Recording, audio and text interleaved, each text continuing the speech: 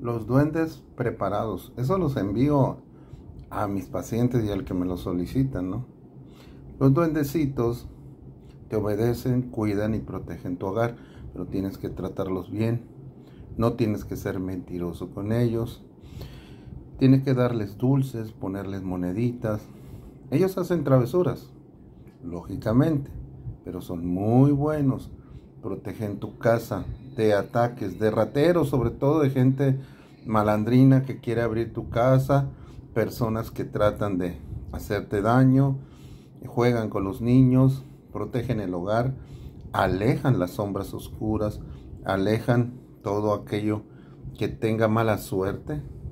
Son muy afines a estar en tus jardines, a meterse en las noches y hacer ruiditos.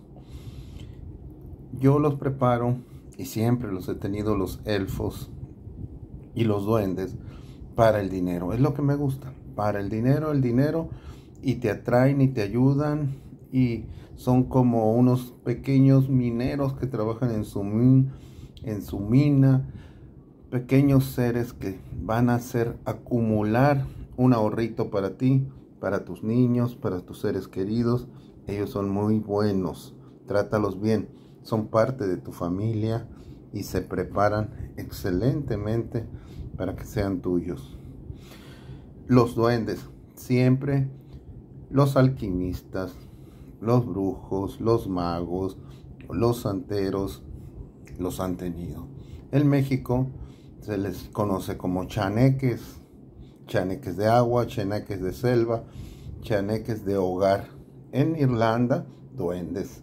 ¿Y cómo vas a controlar? Si un día te llegas a encontrar con uno, según la leyenda irlandesa y según la leyenda de los mayas, tienes que cerrar tu ojo izquierdo y mirarlos con un solo ojo. Que no te traten de engañar mientras tú los estés viendo con el ojo derecho. Ellos tienen que obedecerte en lo que les pidas.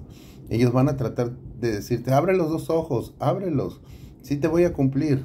No, hasta que te cumpla lo que les pides, no dejes de mirarlo con un solo ojo. Se cierra el ojo izquierdo y con el ojo derecho tienes que mirarlo.